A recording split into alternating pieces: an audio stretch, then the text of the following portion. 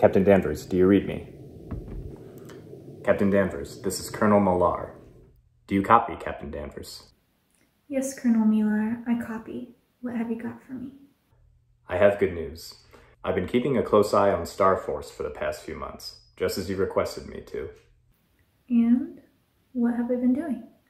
They're planning to search for renegade Skrulls who might be hiding out on the planet of Burhurt. Fortunately, I've been able to buy them some time.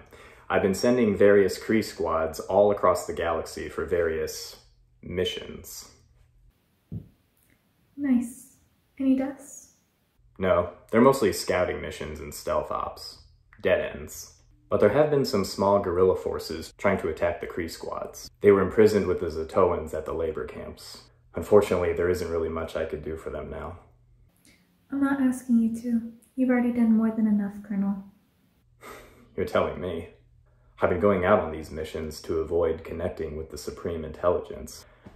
I can only go out for so long without checking in. I understand.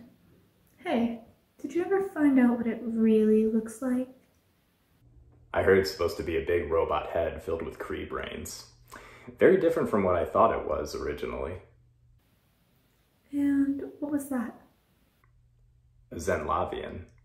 They're said to be the wisest of all creatures.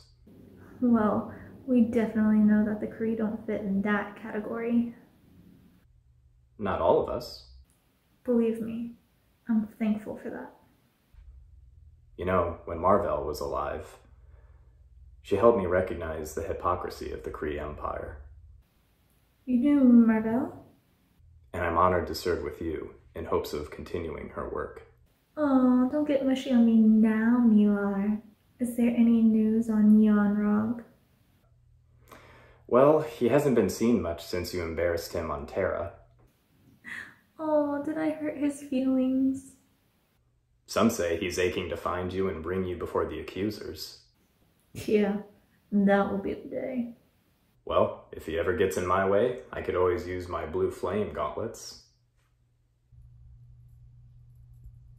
No, you can't risk blowing your cover. Not yet. Keep tabs on Kree. If you locate any more refuge Skrulls, tell them there is a moon three jump points past Titan that they can find solace on. That's where I'm taking them. They will be safe there. Nice, I like that. Where the Mad Titan once lived. After what happened there and the Purge, the Kree will avoid it out of fear. Exactly. But the Kree also know about how you destroyed Thanos' ship, and how you fought the Mad Titan head on. Well, technically, he beat me. yeah, by using an Infinity Stone he stole. As for me, I'm perfectly fine with my blue flame gauntlets.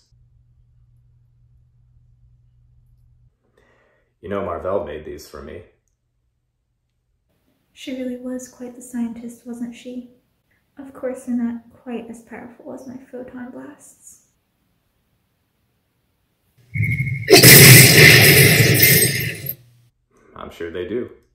Hey, have I showed you my new keychain? Where did you get a keychain? Yeah, I bought this from Yondu years ago. He really has a thing for objects on Terra. And apparently there are 150 of these on planet Terra. Cute though, isn't it? Hmm. I always preferred the little guy with the fire tail. Huh? What? His name's Charmander. You wouldn't know about it. So there really are creatures like this on Terra? No, it's a television show. Television? Never mind. I better get back. Yeah, I better meet up with my troops before they get suspicious. You take care of yourself, Captain Danvers.